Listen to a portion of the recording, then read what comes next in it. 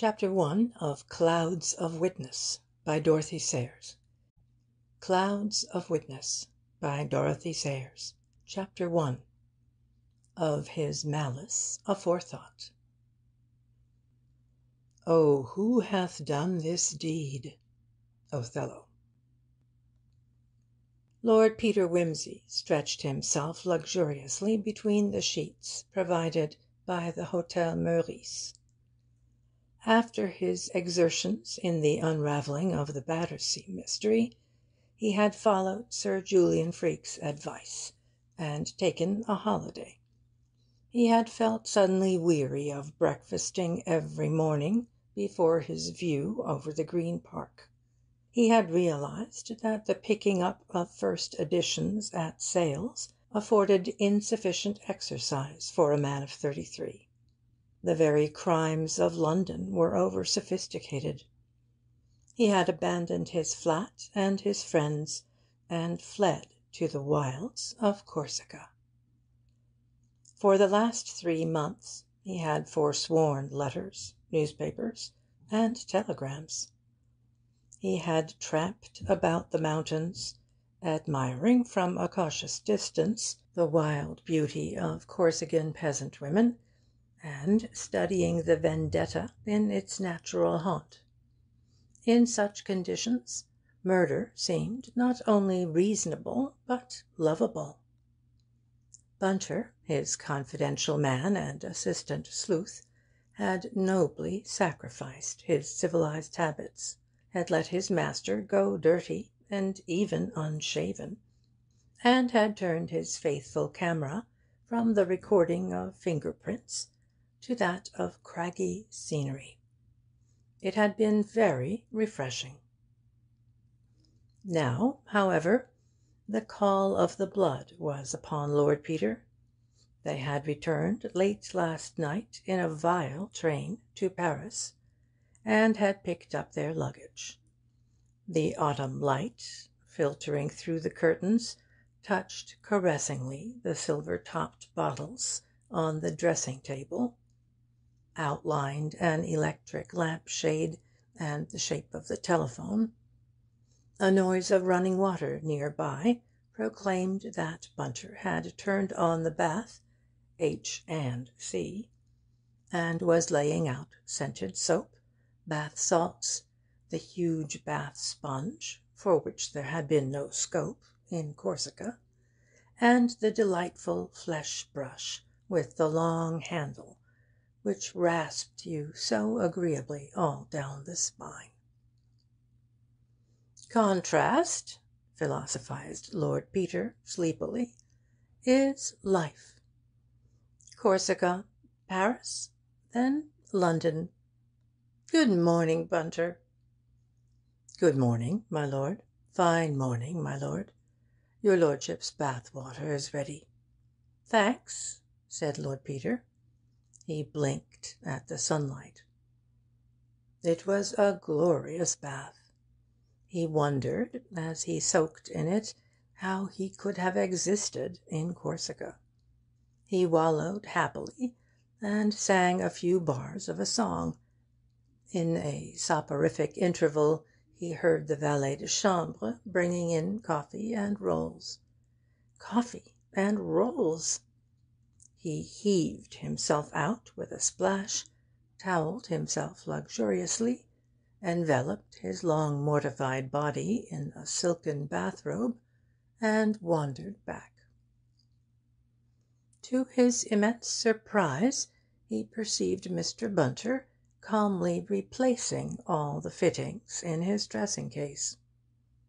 Another astonished glance showed him the bags scarcely opened the previous night, repacked, relabelled, and standing ready for a journey. "I say, Bunter, what's up?" said his lordship. "We're stayin' here a fortnight, you know." "Excuse me, my lord," said Mr. Bunter deferentially, "but having seen the Times delivered here every morning by air, my lord and very expeditious, I'm sure, all things considered. I made no doubt your lordship would be wishing to go to Riddlesdale at once." "Riddlesdale!" exclaimed Peter. "What's the matter? Anything wrong with my brother?" For answer Mr. Bunter handed him the paper, folded open at the heading "Riddlesdale Inquest. Duke of Denver arrested on murder charge." Lord Peter stared, as if hypnotised. "I thought your lordship wouldn't wish to miss anything," said Mr. Bunter. "So I took the liberty Lord Peter pulled himself together.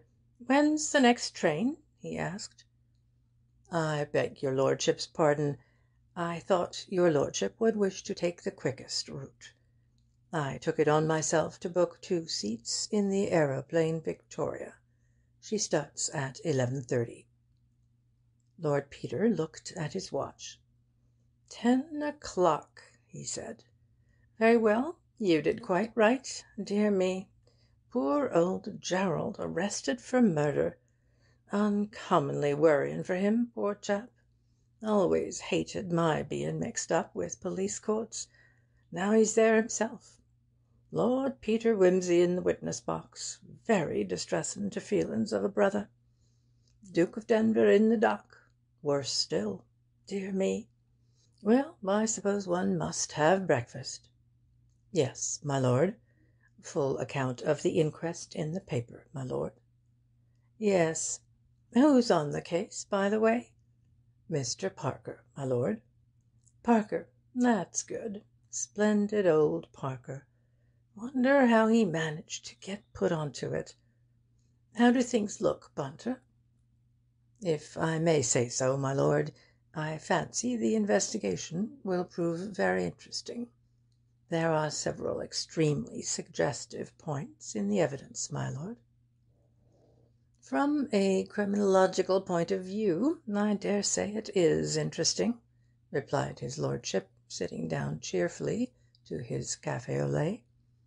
But it's deuced awkward for my brother all the same, havin' no turn for criminology, what?" "Ah, well," said Mr. Bunter, "they say, my lord, there's nothing like having a personal interest." The inquest was held to day at Riddlesdale, in the North Riding of Yorkshire, on the body of Captain Denis Cathcart, which was found at three o'clock on Thursday morning lying just outside the conservatory door of the Duke of Denver's shooting box, Riddlesdale Lodge. Evidence was given to show that deceased had quarrelled with the Duke of Denver on the preceding evening, and was subsequently shot in a small thicket adjoining the house. A pistol belonging to the Duke was found near the scene of the crime. A verdict of murder was returned against the Duke of Denver. Lady Mary Wimsey, sister of the Duke, who was engaged to be married to the deceased, collapsed after giving evidence, and is now lying seriously ill at the lodge. The Duchess of Denver hastened from town yesterday, and was present at the inquest. Full report on page twelve. "Poor old Gerald!" thought Lord Peter, as he turned to page twelve. "And poor old Mary! I wonder if she really was fond of the fellow. Mother always said not, but Mary never would let on about herself." The full report began by describing the little village of Riddlesdale, where the Duke of Denver had recently taken a small shooting box for the season. When the tragedy occurred, the Duke had been staying there with a party of guests. In the Duchess's absence, Lady Mary Wimsey had acted as hostess. The other guests were Colonel and Mrs. Marchbanks, the Hon. Frederick Arbuthnot, Mr. and Mrs. Pettigrew Robinson, and the dead man, Denis Cathcart. The first witness was the Duke of Denver, who claimed to have discovered the body. He gave evidence that he was coming into the house by the conservatory door at three o'clock in the morning of Thursday, October 14th, when his foot struck against something. He had switched on his electric torch and seen the body of Denis Cathcart at his feet. He had at once turned it over and seen that Cathcart had been shot in the chest. He was quite dead. As Denver was bending over the body he heard a cry in the conservatory, and, looking up, saw Lady Mary Wimsey gazing out, horror struck. She came out by the conservatory door, and exclaimed at once, "Oh God, Gerald, you've killed him!" Sensation. The Coroner. Were you surprised by that remark? Duke of Denver. Well, I was so shocked and surprised at the whole thing. I think I said to her, "Don't look," and she said, "Oh, it's Denis. Whatever can have happened? Has there been an accident?" I stayed with the body and sent her up to rouse the house. The Coroner. Did you expect to see Lady Mary Wimsey in the conservatory? Duke of Denver. Really, as I say, I was so astonished all round, don't you know, I didn't think about it. The Coroner. Do you remember how she was dressed? Duke of Denver. I don't think she was in her pyjamas. Laughter. I think she had a coat on. The Coroner. I understand that Lady Mary Wimsey was engaged to be married to the deceased? Duke of Denver. Yes. The Coroner.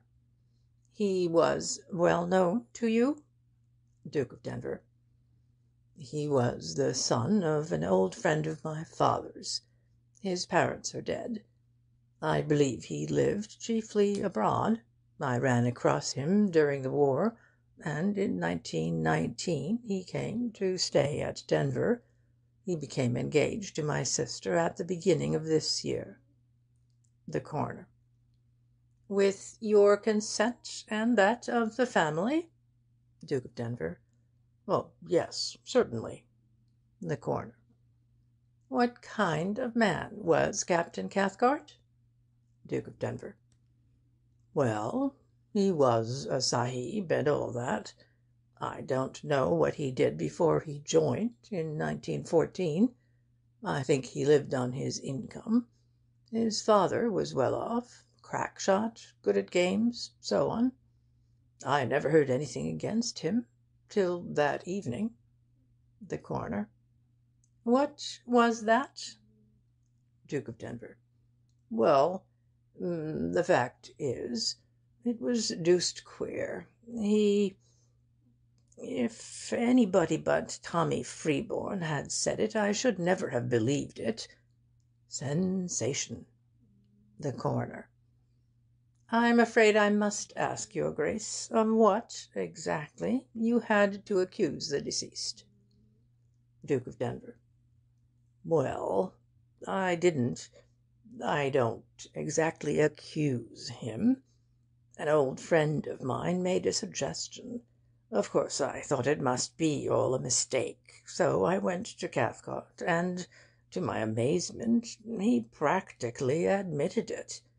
Then we both got angry, and he told me to go to the devil, and rushed out of the house. Renewed sensation. The Coroner. When did this quarrel occur?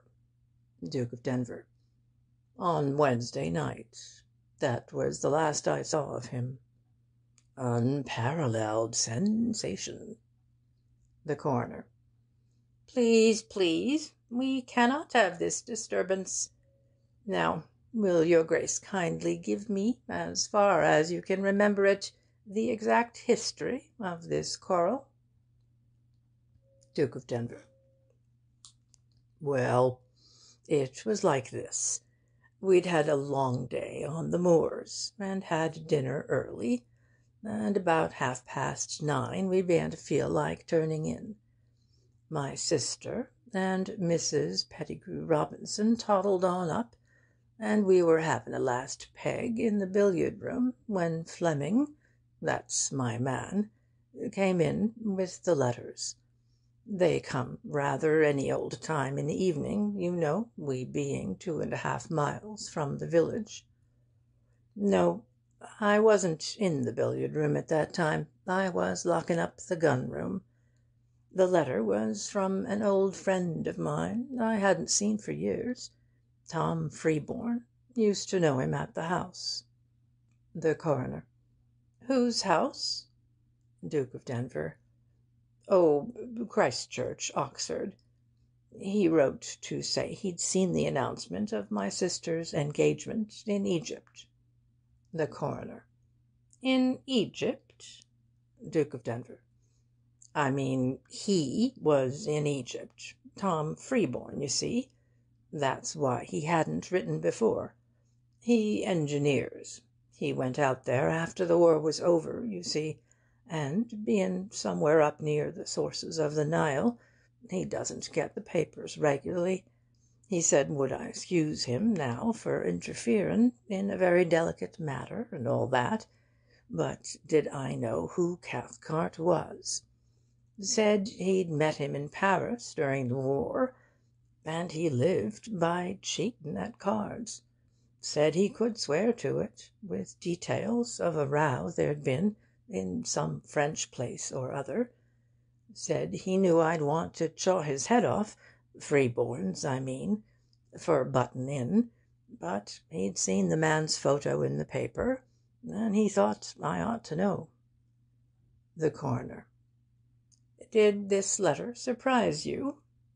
Duke of Denver: Couldn't believe it at first. If it hadn't been old Tom Freeborn, I'd have put the thing in the fire straight off. And even as it was, I didn't quite know what to think. I mean, it wasn't as if it had happened in England, you know. I mean to say, Frenchmen get so excited about nothing. Only there was Freeborn, and he isn't the kind of man that makes mistakes. The Coroner. What did you do? Duke of Denver. Well, the more I looked at it, the less I liked it, you know. Still, I couldn't quite leave it like that, so I thought the best way was to go straight to Cathcart. They'd all gone up while I was sittin' thinkin' about it, so I went up and knocked at Cathcart's door. He said "What's that?" or "Who the devil's that?" or something of the sort, and I went in. "Look here," I said, "can I have a word with you?" "Well, cut it short, then," he said. I was surprised. He wasn't usually rude. "Well," I said, "fact is, I've had a letter I don't much like the look of and I thought the best thing to do was to bring it straight away to you and have the whole thing cleared up. It's from a man, a very decent sort, old college friend, who says he's met you in Paris. Paris, he said, in a most unpleasant way. Paris!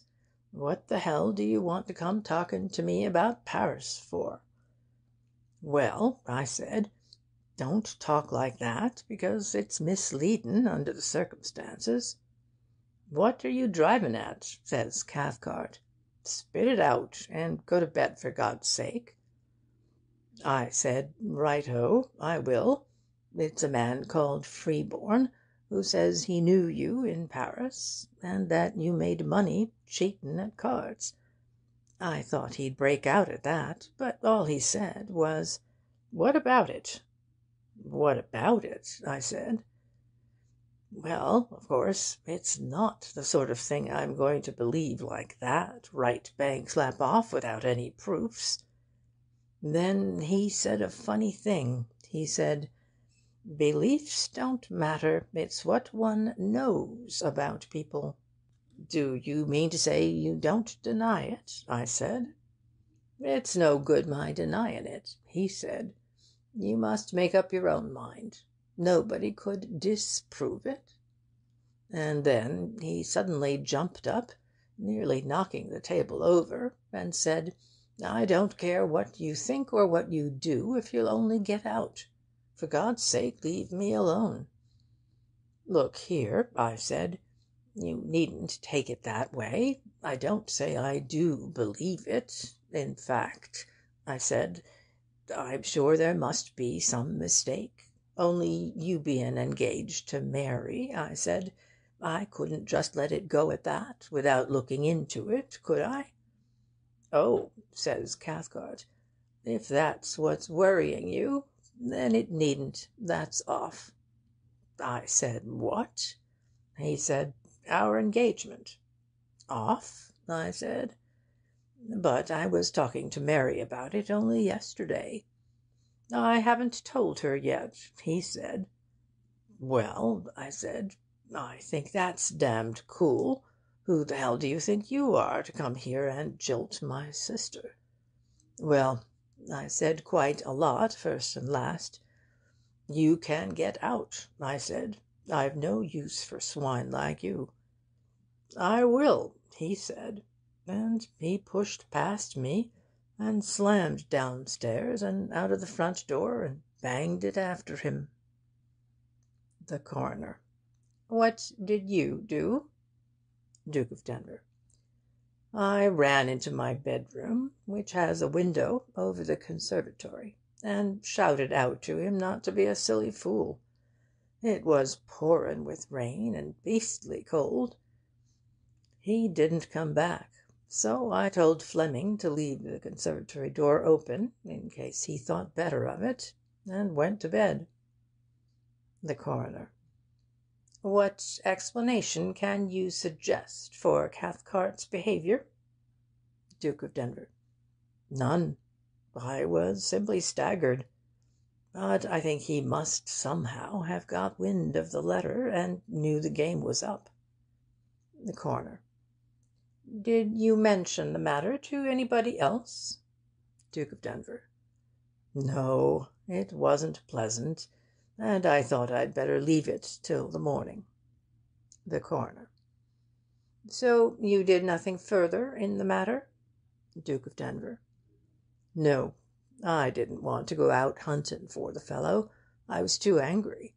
Besides, I thought he'd change his mind before long. 'Twas a brute of a night, and he'd only a dinner jacket.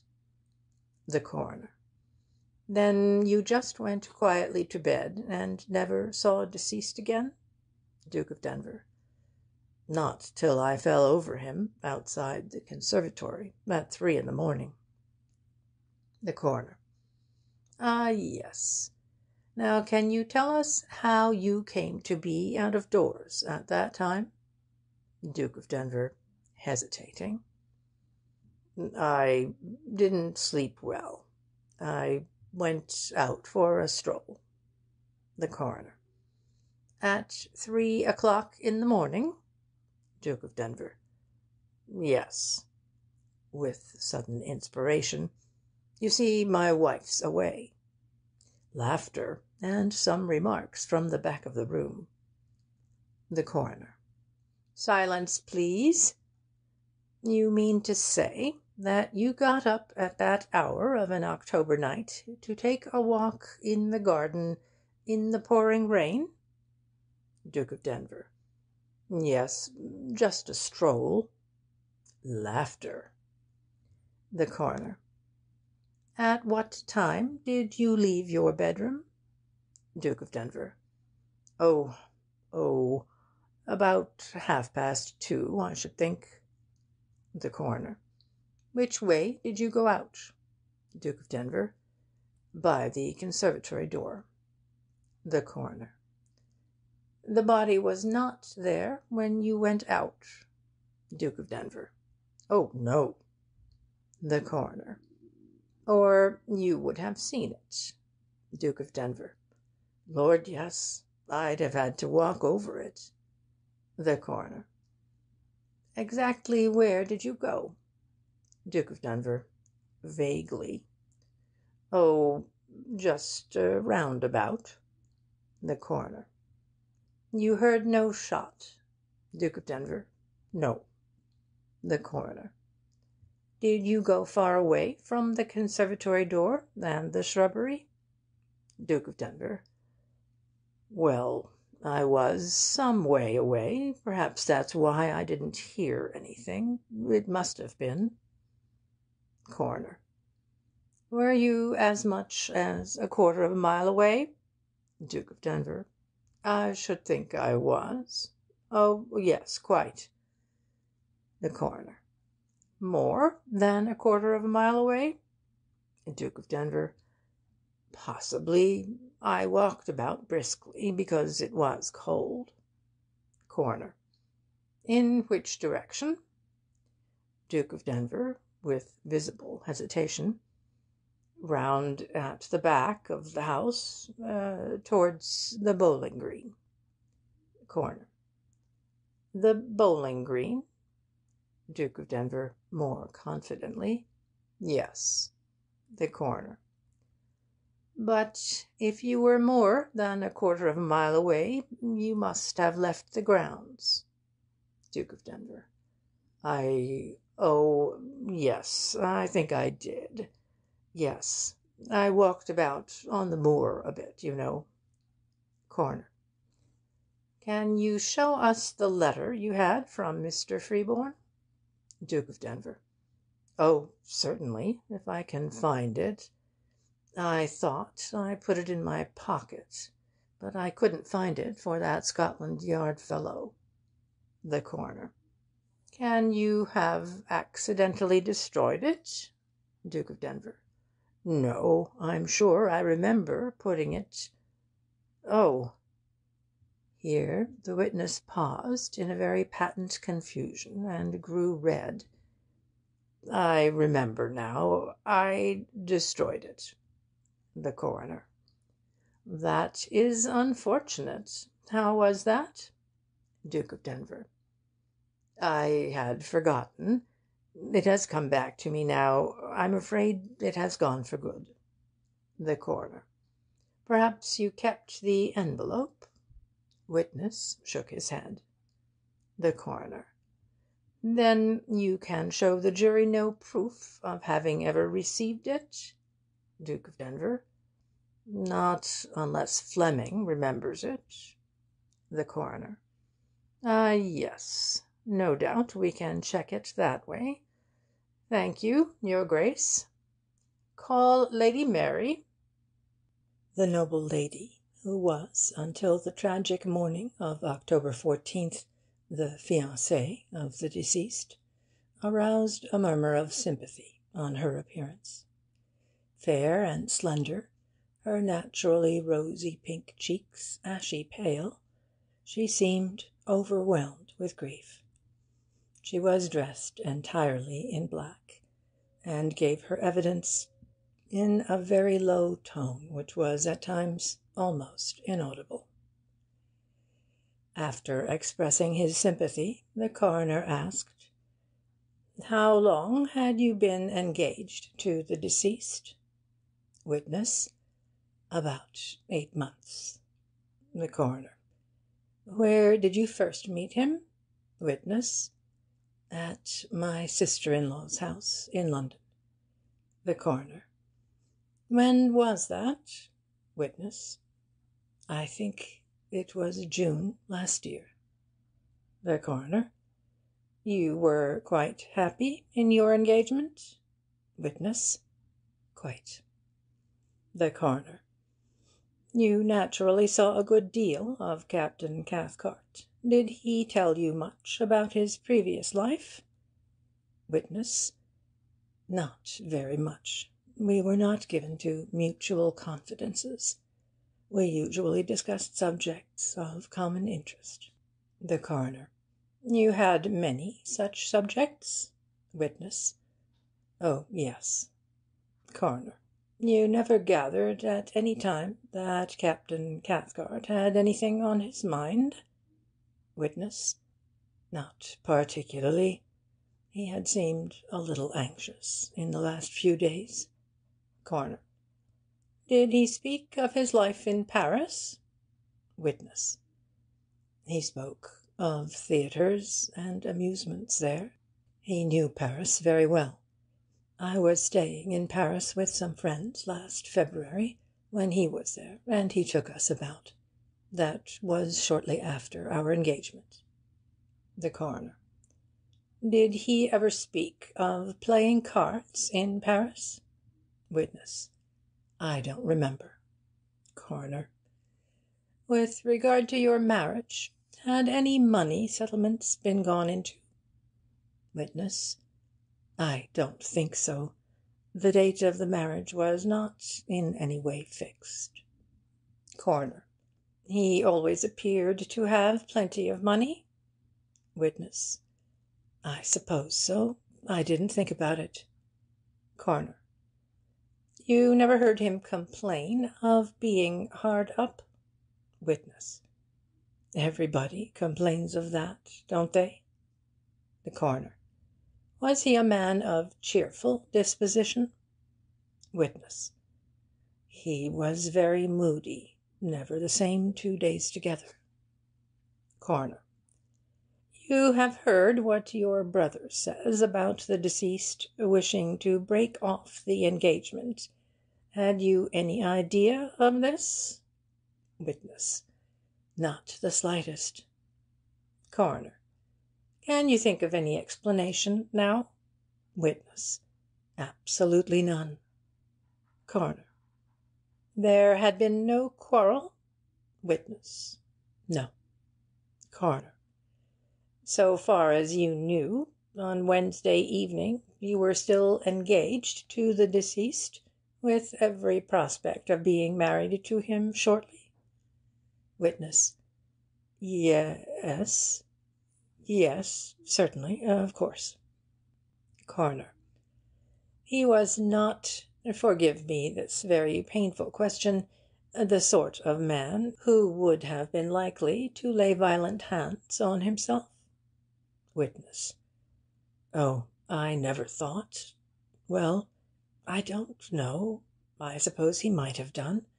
That would explain it, wouldn't it? The Coroner. Now, Lady Mary, please don't distress yourself. Take your own time. Will you tell us exactly what you heard and saw on Wednesday night and Thursday morning? Witness.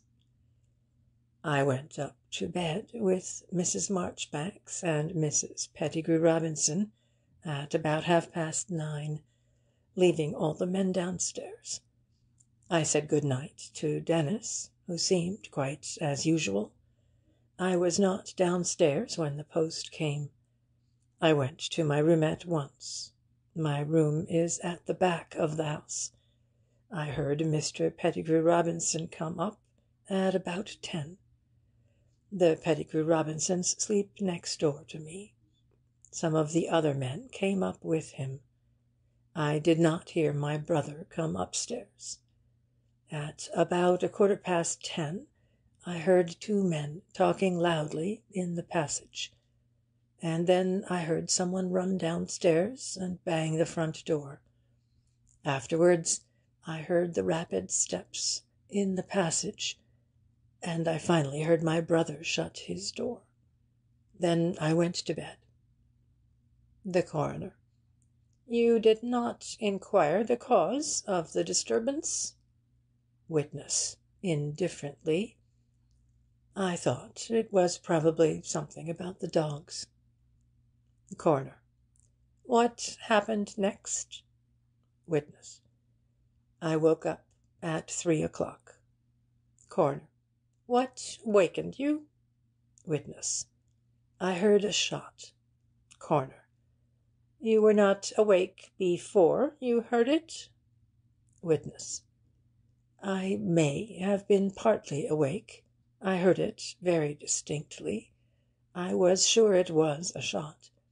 I listened for a few minutes, and then went down to see if anything was wrong. Coroner. Why did you not call your brother or some other gentleman? Witness (scornfully): Why should I?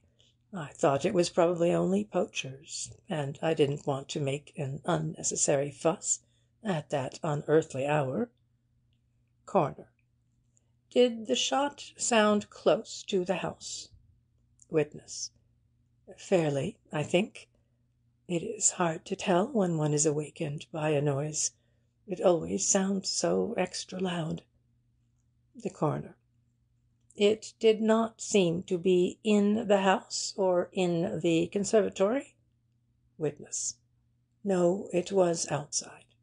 The Coroner: So you went downstairs by yourself.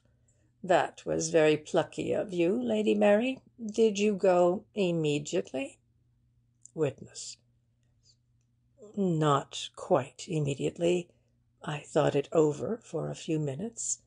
Then I put on walking shoes over bare feet, a heavy covert coat, and a woolly cap. It may have been five minutes after hearing the shot that I left my bedroom. I went downstairs and through the billiard room to the conservatory.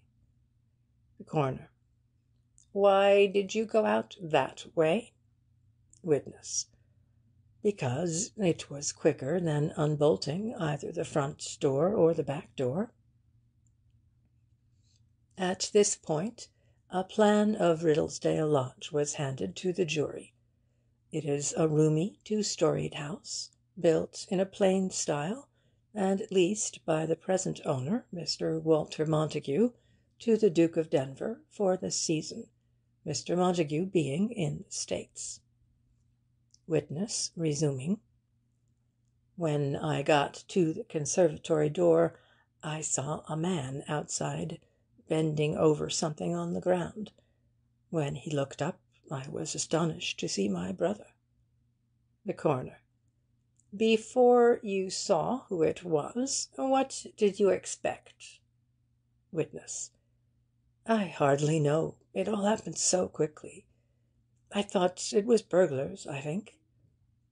The Coroner: His Grace has told us that when you saw him you cried out, "O God, you've killed him." Can you tell us why you said that? Witness (very pale): I thought my brother must have come upon the burglar, and fired at him in self defence. That is, if I thought at all. Coroner. Quite so. You knew that the Duke possessed a revolver? Witness: Oh yes, I think so. Coroner: What did you do next? Witness: My brother sent me up to get help. I knocked up Mr. Arbuthnot and Mr. and Mrs. Pettigrew Robinson. Then I suddenly felt very faint, and went back to my bedroom and took some sal volatile. Coroner: Alone? Witness: Yes. Everybody was running about and calling out. I couldn't bear it. I Here the witness, who up till this moment had given her evidence very collectedly, though in a low voice, collapsed suddenly, and had to be assisted from the room. The next witness called was James Fleming, the manservant. He remembered having brought the letters from Riddlesdale at 9.45 on Wednesday evening.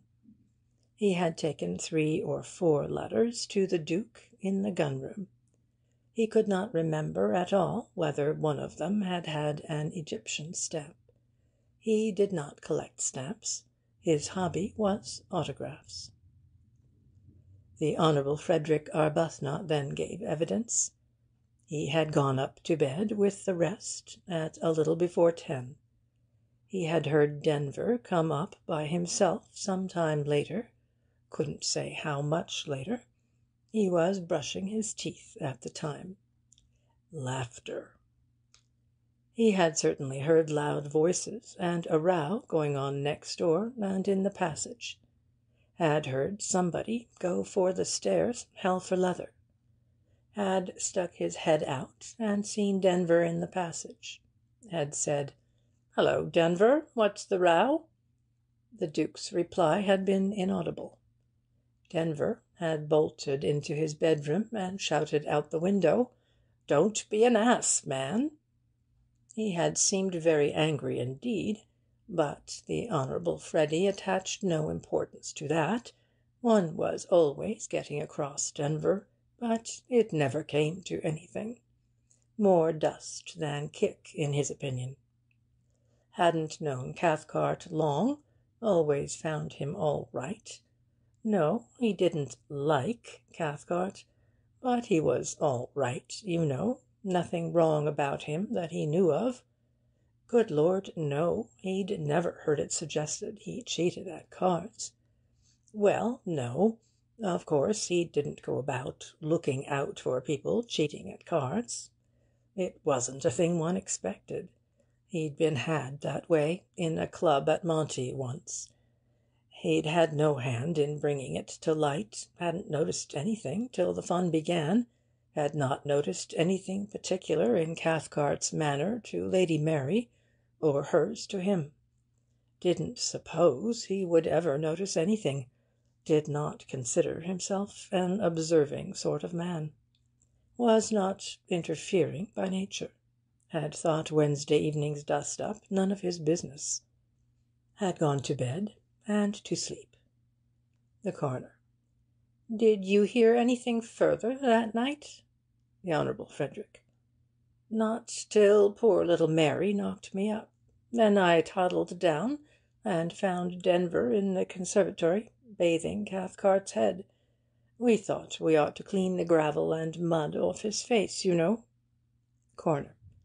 You heard no shot? The Honourable Frederick. Not a sound. But I sleep pretty heavily. Colonel and Mrs. Marchbanks slept in the room over what was called the study, more a sort of smoking room, really. They both gave the same account of a conversation which they had had at eleven thirty. Mrs. Marchbanks had sat up to write some letters after the Colonel was in bed. They had heard voices and some one running about, but had paid no attention. It was not unusual for members of the party to shout and run about. At last the Colonel had said, "Come to bed, my dear. It's half past eleven, and we're making an early start to morrow. You won't be fit for anything. He said this because Mrs. Marchbanks was a keen sportswoman, and always carried her gun with the rest. She replied, "I'm just coming." The Colonel said, "You're the only sinner burning the midnight oil. Everybody's turned in." Mrs. Marchbanks replied, "No, the Duke's still up. I can hear him moving about in the study." Colonel Marchbanks listened, and heard it too. Neither of them heard the Duke come up again. They had heard no noise of any kind in the night. Mr. Pettigrew Robinson appeared to give evidence with extreme reluctance. He and his wife had gone to bed at ten. They had heard the quarrel with Cathcart. Mr. Pettigrew Robinson fearing that something might be going to happen, opened his door in time to hear the Duke say, "If you dare to speak to my sister again, I'll break every bone in your body," or words to that effect. Cathcart had rushed downstairs. The Duke was scarlet in the face. He had not seen Mr. Pettigrew Robinson but had spoken a few words to Mr. Arbuthnot, and rushed into his own bedroom. Mr. Pettigrew Robinson had run out, and said to Mr. Arbuthnot, "I say, Arbuthnot," and Mr. Arbuthnot had very rudely slammed the door in his face. He had then gone to the Duke's door, and said, "I say, Denver." The Duke had come out, pushing past him without even noticing him, and gone to the head of the stairs. He had heard him telling Fleming to leave the conservatory door open, as Mr. Cathcart had gone out. The Duke had then returned. Mr. Pettigrew Robinson had tried to catch him as he passed, and had said again, "I say, Denver, what's up?" The Duke had said nothing, and had shut his bedroom door with great decision. Later on, however, at eleven thirty to be precise, Mr. Pettigrew Robinson had heard the Duke's door open, and stealthy feet moving about the passage. He could not hear whether they had gone downstairs. The bathroom and lavatory were at his end of the passage, and if anybody had entered either of them, he thought he should have heard. He had not heard the footsteps return. He had heard his travelling clock strike twelve before falling asleep. There was no mistaking the Duke's bedroom door, as the hinge creaked in a peculiar manner. Mrs. Pettigrew Robinson confirmed her husband's evidence. She had fallen asleep before midnight, and had slept heavily. She was a heavy sleeper at the beginning of the night, but slept lightly in the early morning. She had been annoyed by all the disturbance in the house that evening, as it had prevented her from getting off. In fact, she had dropped off about ten thirty, and Mr. Pettigrew Robinson had had to wake her an hour after to tell her about the footsteps. What with one thing and another, she only got a couple of hours' good sleep. She woke up again at two, and remained broad awake till the alarm was given by Lady Mary. She could swear positively that she had heard no shot in the night. Her window was next to Lady Mary's, on the opposite side from the conservatory. She had always been accustomed, from a child, to sleep with her window open. In reply to a question from the coroner, Mrs. Pettigrew Robinson said she had never felt there was a real, true affection between Lady Mary Wimsey and the deceased. They seemed very off-hand, but that sort of thing was the fashion nowadays. She had never heard of any disagreement. Miss Lydia Cathcart, who had been hurriedly summoned from town, then gave evidence about the deceased man. She told the coroner that she was the captain's aunt, and his only surviving relative. She had seen very little of him since he came into possession of his father's money. He had always lived with his own friends in Paris, and they were such as she could not approve of. "My brother and I never got on very well," said Miss Cathcart, "and he had my nephew educated abroad till he was eighteen. I fear Denis's notions were always quite French.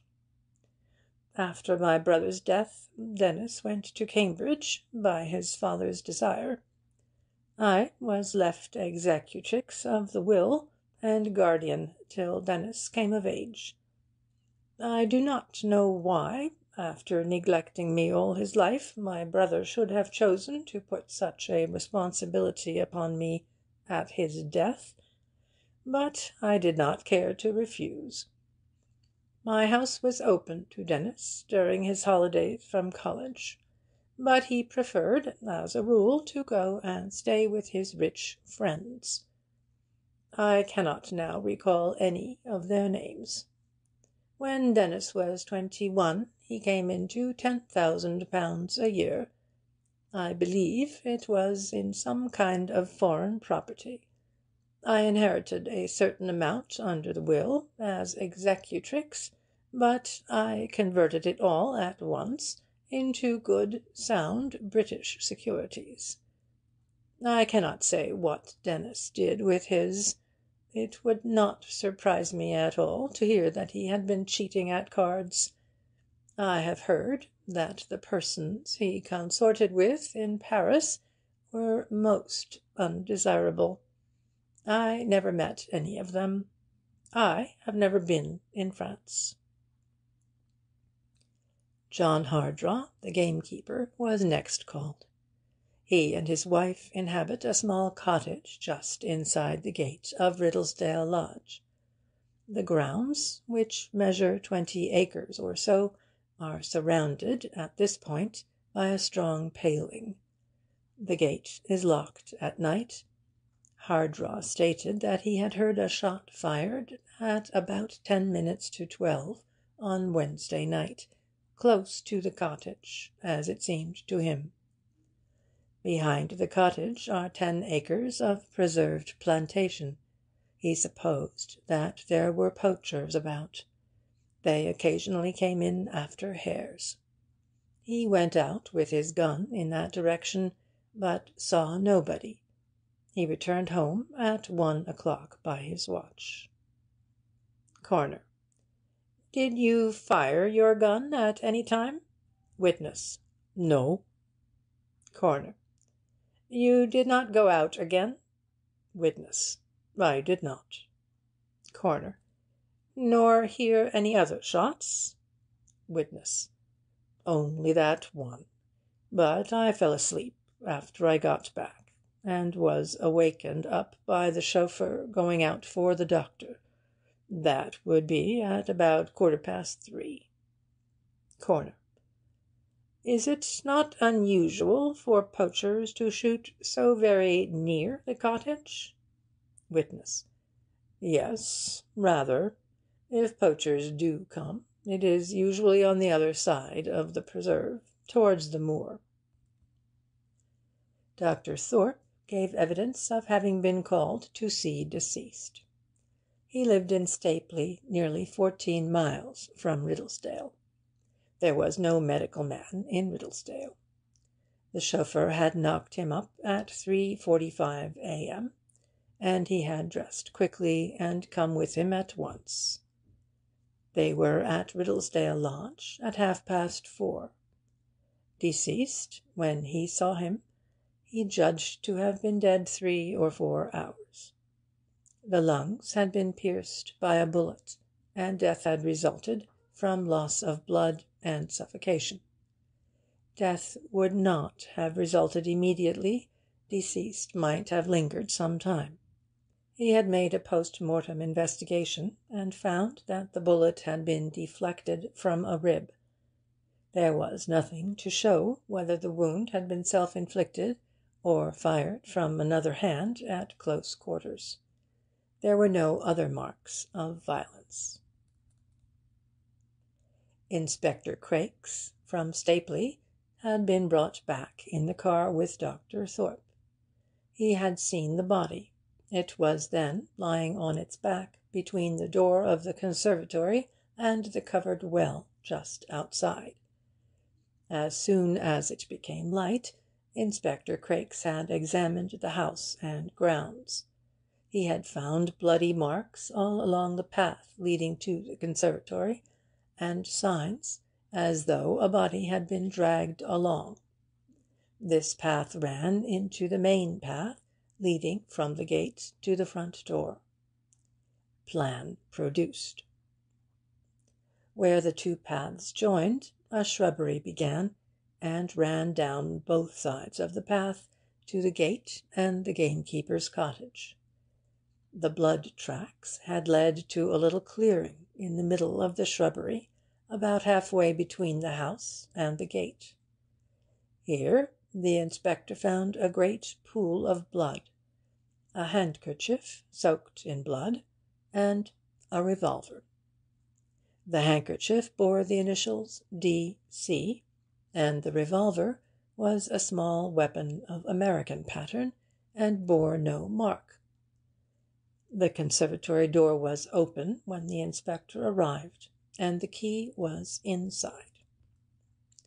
Deceased, when he saw him, was in dinner jacket and pumps, without hat or overcoat. He was wet through, and his clothes, besides being much blood stained, were very muddy and greatly disordered through the dragging of the body. The pocket contained a cigar case and a small flat pocket knife. Deceased's bedroom had been searched for papers, etc., but so far nothing had been found to shed very much light on his circumstances. The Duke of Denver was then recalled. The Coroner. I should like to ask your Grace whether you ever saw deceased in possession of a revolver. Duke of Denver. Not since the war. Coroner. You do not know if he carried one about with him? Duke of Denver. I have no idea. Coroner. You can make no guess, I suppose, to whom this revolver belongs? Duke of Denver, in great surprise.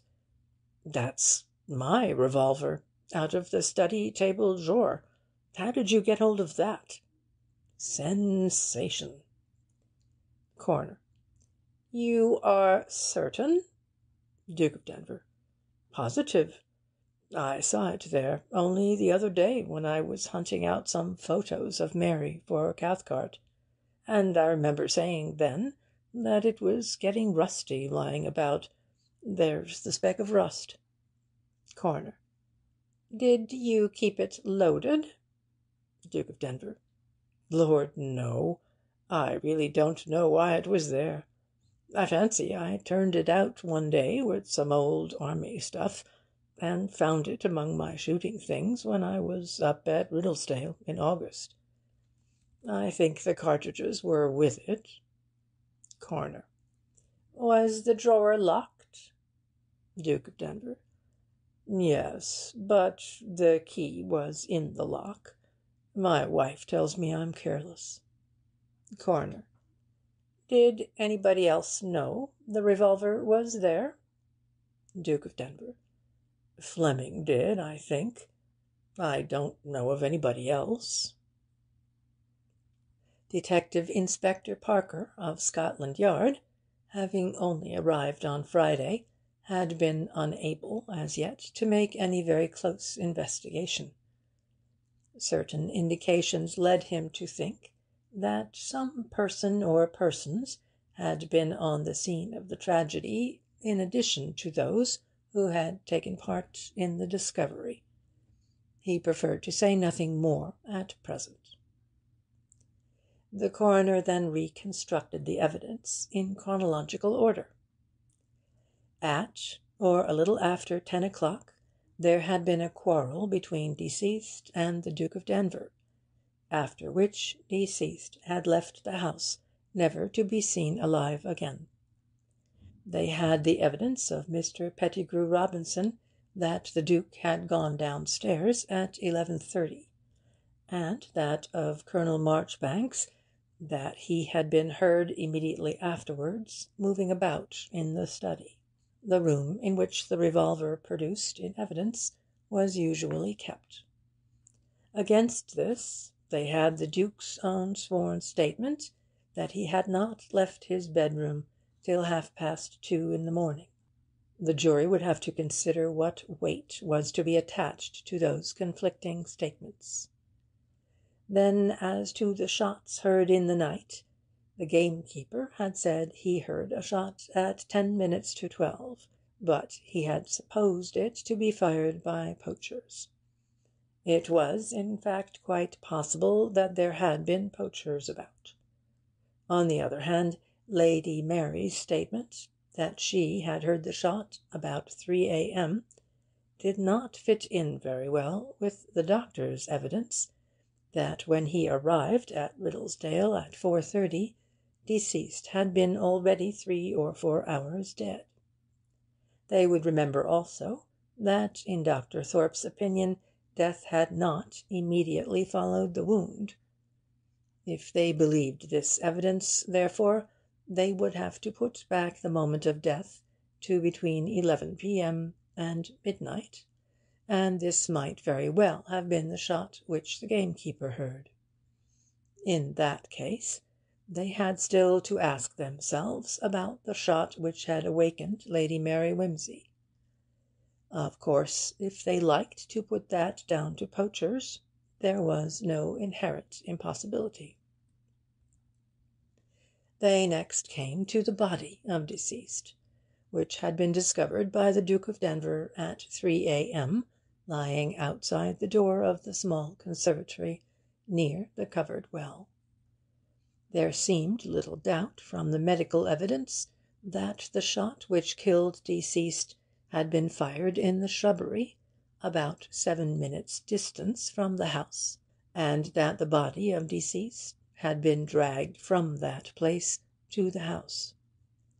Deceased had undoubtedly died as the result of being shot in the lungs. The jury would have to decide whether that shot was fired by his own hand or by the hand of another, and if the latter, whether by accident, in self defence, or by malice aforethought with intent to murder. As regards suicide, they must consider what they knew of deceased's character and circumstances. Deceased was a young man in the prime of his strength, and apparently of considerable fortune. He had had a meritorious military career, and was liked by his friends. The Duke of Denver had thought sufficiently well of him to consent to his own sister's engagement to deceased. There was evidence to show that the fiancés, though perhaps not demonstrative, were on excellent terms. The Duke affirmed that on the Wednesday night deceased had announced his intention of breaking off the engagement. Did they believe that deceased, without even communicating with the lady, or writing a word of explanation or farewell, would thereupon rush out and shoot himself? Again, the jury must consider the accusation which the Duke of Denver said he had brought against deceased. He had accused him of cheating at cards. In the kind of society to which the persons involved in this inquiry belonged, such a misdemeanour as cheating at cards was regarded as far more shameful than such sins as murders and adultery. Possibly the mere suggestion of such a thing, whether well founded or not might well cause a gentleman of sensitive honour to make away with himself. But was deceased honourable? Deceased had been educated in France, and French notions of the honest thing were very different from British ones. The coroner himself had had business relations with French persons, in his capacity as a solicitor and could assure such of the jury as had never been in France that they ought to allow for these different standards. Unhappily, the alleged letter giving details of the accusation had not been produced to them. Next, they might ask themselves whether it was not more usual for a suicide to shoot himself in the head. They should ask themselves how deceased came by the revolver. And finally, they must consider, in that case, who had dragged the body towards the house, and why the person had chosen to do so, with the great labour to himself and at the risk of extinguishing any lingering remnant of the vital spark, instead of arousing the household and fetching help. If they excluded suicide, there remained accident, manslaughter, or murder. As to the first, if they thought it likely that deceased or any other person had taken out the Duke of Denver's revolver that night for any purpose, and that, in looking at, cleaning, shooting with, or otherwise handling the weapon, it had gone off and killed deceased accidentally, then they would return a verdict of death by misadventure accordingly. In that case, how did they explain the conduct of the person, whoever it was, who had dragged the body to the door?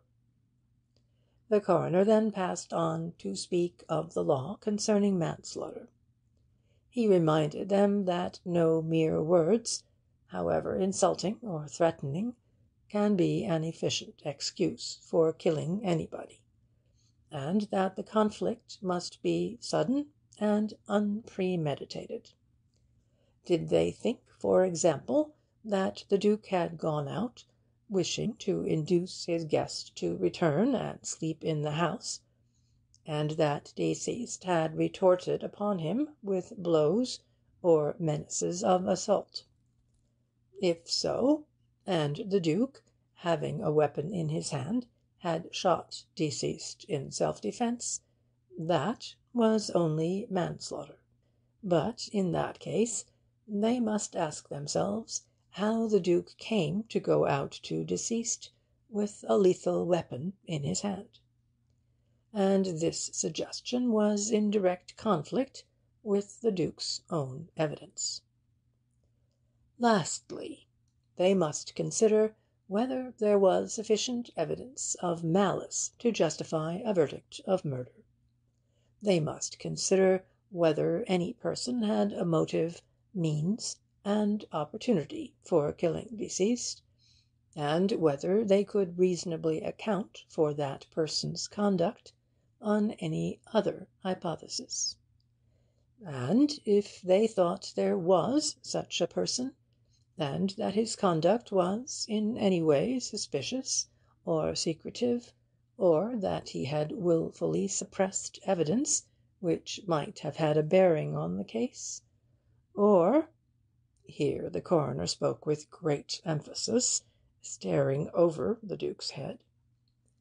Fabricated other evidence with intent to mislead, then all these circumstances might be sufficient to amount to a violent presumption of guilt against some party, in which case they were in duty bound to bring in a verdict of wilful murder against that party.